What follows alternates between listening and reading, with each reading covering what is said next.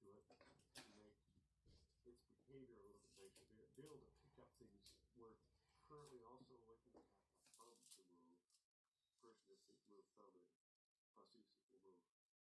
But the other one that is almost like a fourth model for prosthetics is to give the amputee, and this is what amputee wants. Every time you ask what they want, and that's a sense of touch. Free will,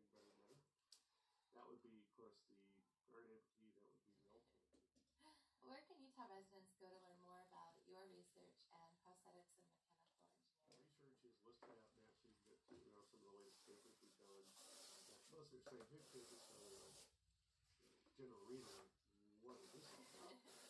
There's the companies around, motion